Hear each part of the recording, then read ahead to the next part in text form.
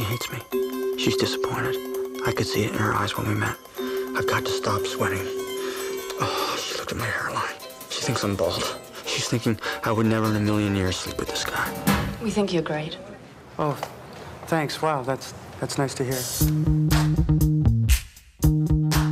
To begin, coffee would help me think. Coffee and a muffin. I'm going up to Santa Barbara this Saturday, and I I was wondering. Oh, I'm sorry. so I'll just sorry. be right back with your pie then. Drum roll, please. I'm gonna be a screenwriter, like you.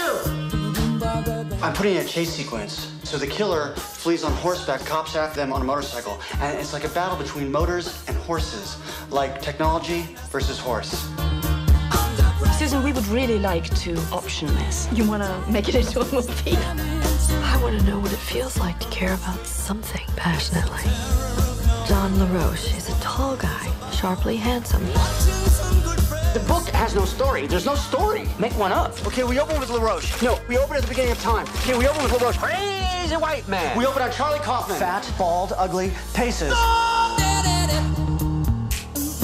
written myself into my screenplay. That's kind of weird, huh? I guess we thought that maybe Susan and LaRoche could fall in love. I just don't want to ruin it by making it a Hollywood thing. It's like I don't want to cram in sex or guns or car chases or characters overcoming obstacles to succeed in the end. She's crying. What's she hiding from us? I think you actually need to speak to this woman to know her. People find love, people lose it. Every day, someone somewhere takes a conscious decision to destroy someone else.